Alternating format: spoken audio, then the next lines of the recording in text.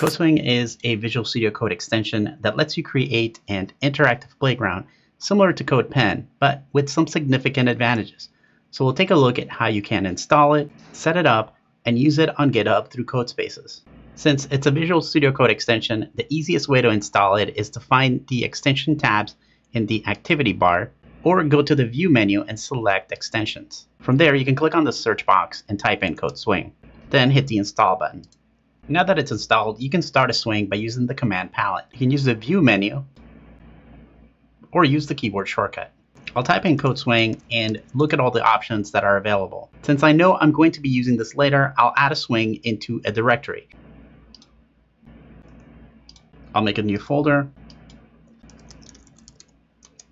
and go ahead and hit the open button. You'll get an option to select a template to get started with. There's quite a few options here, including HTML, JavaScript, React, and other pre-built templates. I'm going to go with the first option, HTML, CSS, and JavaScript. This is going to open up a swing in your playground. Now notice that there's no folder that's actually open. So let's go ahead and open this folder. You'll notice that there are four different files in here.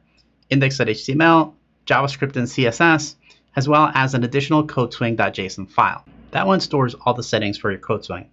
There are three tabs open as well as a preview. Let's go ahead and hide the open editors. Now let's try adding some HTML. Since I have the Emmet extension on, I can use some shortcuts.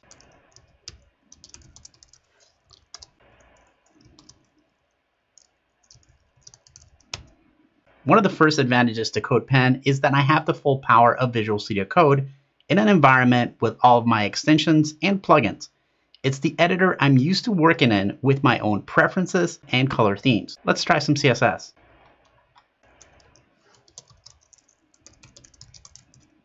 Now this is a live preview that updates constantly.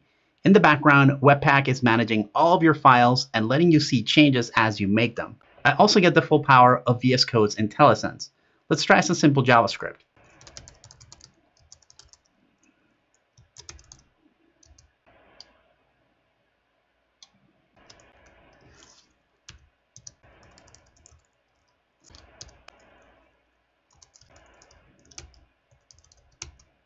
See how the text for the welcome is even being updated as I type it. Now like in CodePen, we didn't have to use scripts or link tags to make the CSS and scripts interactive. Now that we have a solid swing going, we should have more options in the command palette. Let's try changing the layout, but before we do that, let's make sure all these files are saved. Now let's go into the command palette, type in code swing to see the options, and select change layout. You can see that there's a lot of different options right here. Let's try the split left layout.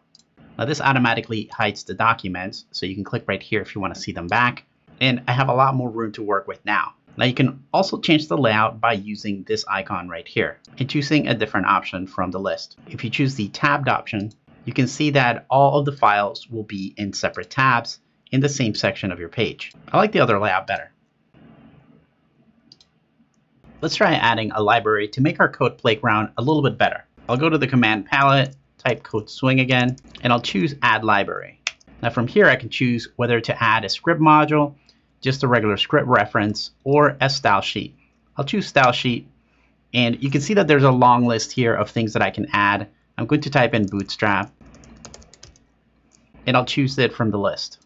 Now here I can pick the version of Bootstrap that I want to be using. I'll go ahead and choose 5.1. And here I can choose the version of the library that I want to use. I'm going to use the minified version of Bootstrap. You can see that the text already looks a bit different. Let's go ahead and play around with this a little bit. I'll make these a little bit smaller. And I'll place all my content in a container class. Now everything aligns into my breakpoints. Let's go ahead and add some more classes here.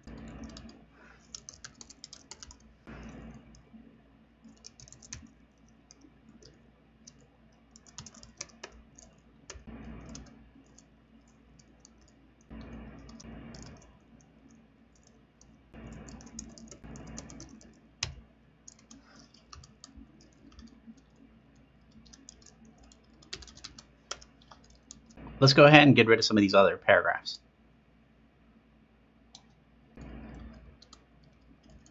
If you're a developer, you're probably already wondering how it's doing all this. Now there's certainly some magic happening in the extension, but basically it's using CDNs to load up the different libraries.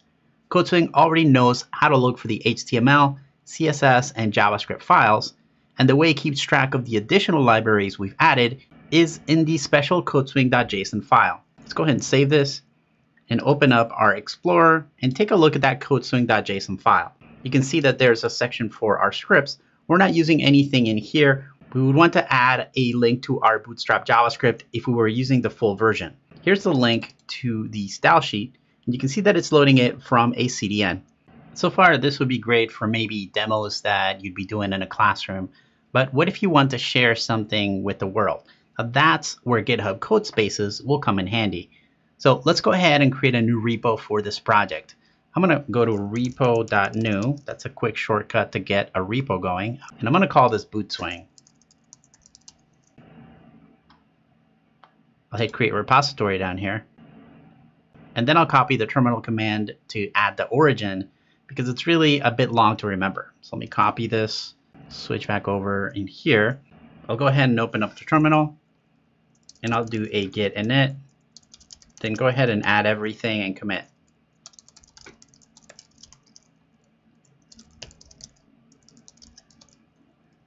Let's go ahead and clear this out. All right, there's a couple of other files that I need to add. First, I need to go ahead and add a gitignore file. I'm on a Mac, and they always create these files called dstore, and I want to make sure that these are not pushed onto GitHub. Also, this is going to work just fine for me because I already have the CodeSwing extension, but if somebody went to GitHub, they wouldn't get the same experience unless they had the same extension. So what I'll do is I'll create a folder here. I'm going to call this dev container. And in there, I'm going to create a file called dev container.json. Now in here, I want to add the extension that I want preloaded when we open up the CodeSpaces environment.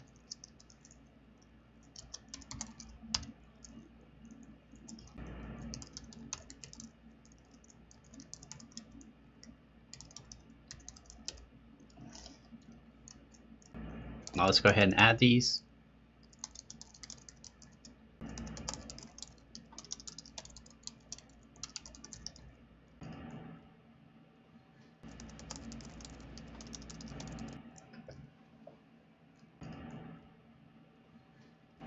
Now that we're in here, we can just hit the period. And our project will run with CodeSpaces using our CodeSwing. Now, if you want to share this with somebody, you can just copy this URL and send somebody the link for this CodeSwing. You know, this is going to make a nice starter template that I could use in other projects. So I'm going to go to the Settings tab, and then I'll click on Template Repository right here. Now, if you go back to the repo, you can create a new repository based on this one by hitting this button right here.